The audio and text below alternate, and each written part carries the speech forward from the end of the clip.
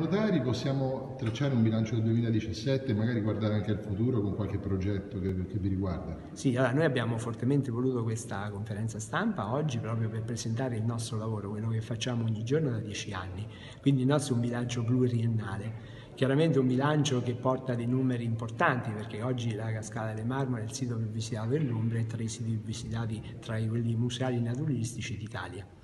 Eh, noi adesso eh, riusciamo a fare tutte queste cose con, eh, questo è un altro dato molto importante, abbiamo 49 eh, persone occupate attualmente, di cui la cosa molto importante che va a sottolineare sono il 40% donne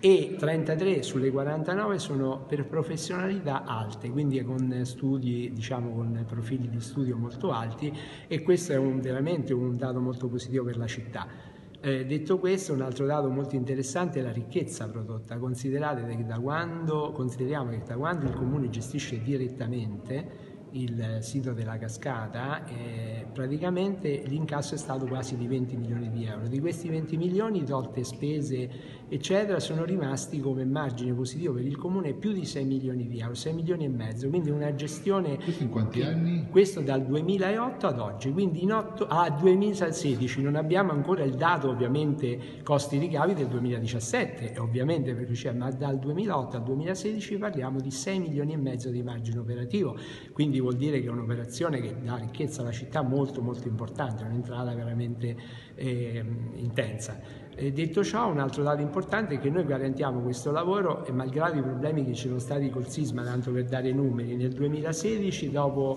il, 24, il 23 di agosto avevamo il record assoluto di ingressi per lo stesso periodo dell'anno precedente. Dal, 2000, dal 24 di agosto in poi abbiamo perso 40.000 ingressi, così come nel 2007 dal 1 gennaio a giugno abbiamo perso quasi 40.000 visitatori anche lì, ma soprattutto dato molto interessante di gruppi e di scuole scuole, quindi in cascata non sono venuti i gruppi, abbiamo avuto proprio una eh, situazione veramente drammatica portata al sisma. Questo ha fatto sì che noi ovviamente che viviamo di agio del biglietto, noi prendiamo, ricordo, 1,22 euro sul biglietto, oggi il biglietto della cascata intero costa 10 e ovviamente solo dobbiamo comunque noi affrontare poi il lavoro di tutti i giorni perché noi dobbiamo comunque garantire se ci sono o non ci sono turisti ben 32.000 ore di lavoro quindi il lavoro è assicurato ovviamente non nego che abbiamo sofferto un po' perché 40.000 ingressi non sono pochi Detto questo, quindi, però per i dieci anni per noi, diciamo in generale, è stato un bilancio per la città di Terni, ma anche per noi, soprattutto per il lavoro che abbiamo dato,